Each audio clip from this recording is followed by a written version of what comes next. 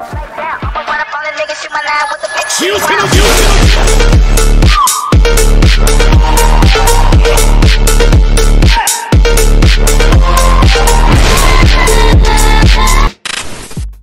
make this kind of video, you need to follow some of the easy steps that I have shown in this video.